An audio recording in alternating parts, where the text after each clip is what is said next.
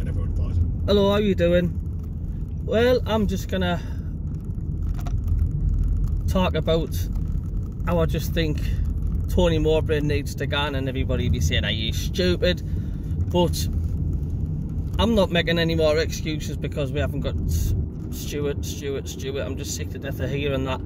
The, the performances have just been just shit. I mean, we've only won two at home. Um, the players just don't seem to know where they want to be, what roles they're doing. I mean, it was just so disjointed um, against Cardiff. It was just, it was awful to watch, and it was the same against Burnley second half. It was just, it was just absolutely shocking. Um, even Huddersfield weren't the best, to be honest with you. And you've got managers out there like Sean Dyche, who's he hasn't got a job. Do you know what I mean? And the massive club like Sunderland, I mean, where's our ambition? Why didn't they go for him? I, I would shove Tony Mowbray out the door and gang for someone like Sean Dyche. If they want real ambitions, if our owners want real ambitions for this club, you know, fair enough. Not gang for promotion, but to consolidate us in this division. But I don't think Tony Mowbray will.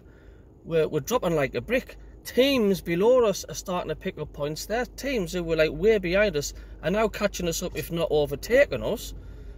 Um, you know, Tony Mowbray's interviews, they just fucking die you. You know, it's like listening to Parky or Simon it's just how the fuck fuck's that gonna motivate your team? Do you know what I'm saying? I mean, I only want what's best for the club. You know, I'm not asking for a promotion. Stability is definitely the aim this season, but we're not going to get it with Tony Mowbray. If we stick with Tony Mowbray, he's going to take us down. And the owners have got to have got to fucking see this. And I'm looking on social media, and there's more and more people on social media now beginning to say the same thing. You know, if we play fucking shit against Birmingham, and we get just totally demolished, or another performance like it was um, against Cardiff, then he's got a gun. And we should never have appointed fucking Tony Mowbray in the first place. That was the problem. The majority of Sunderland fans didn't want him. There was better, better choices out there than that. I knew straight away when we were getting Tony Mowbray, it's like, he's not going to last till fucking Christmas, this fella. And I'm not having Stewart as, as an excuse. There's one man cannot make a huge, huge difference.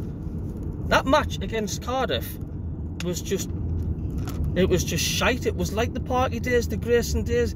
It was like the fucking shit Sunderland side we had with the old Butcher's apron strip when we were in the Championship and we were just fucking awful to watch the season we got relegated. The season that we're on um, um, Sunderland Till I Die on Netflix. You know, we're, we're getting back to that calibre. And it's like, what the fuck are the owners doing? You know, they're, they're just, I'm beginning to wonder, do they, do they have a fucking clue? Like, we know, Tony Mowbray ain't, ain't the man. He's not even going to get you fucking established, but yet, they, yet they get him in. And I've just been listening to Sean Dyche. He's, he's, he's not working at the minute. Get for a fucking manager like that. Pay him what he wants. Get the fucking club some stability. Football is, unfortunately, about spending money.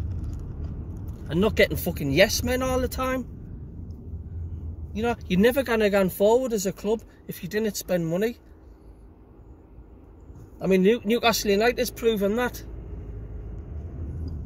And we're just like getting yes men, yes men, yes men all the time. We're just fucking stale. All we seem to do is get yes men and get loans, get loan players all the time. It's like we need to get our own players. Stop these fucking loan players as well and get our own in. Sign players. But he's got to me. Mowbray's got a got a gun. He's, he's got a gun and getting. You need a manager like Sean Dyche or something. It would have been a he would have been a fucking perfect fit for Sunderland. Um, the warning signs have been there for weeks under Mowbray. We're just we're just fucking shit. Not even getting out your chair, getting excited watching us play. Well, like I say, two wins at home. I mean, it's fucking awful. I mean, was it nil nil against Preston, nil nil against fucking Blackpool? I mean, it's just not fucking good enough. I'm sorry, like, but yes, stability is the main. But this, it, the way we're fucking going and we're sticking with this manager in charge, we'll be back in the bottom three before you fucking know it. So it's time for the club to act now and get them out and get somebody decent in and get this club back up the table and get some momentum, a few more wins on the board because it ain't going to happen with him. That's my rant over. Um, have a lovely afternoon, evening, morning, night. See you later.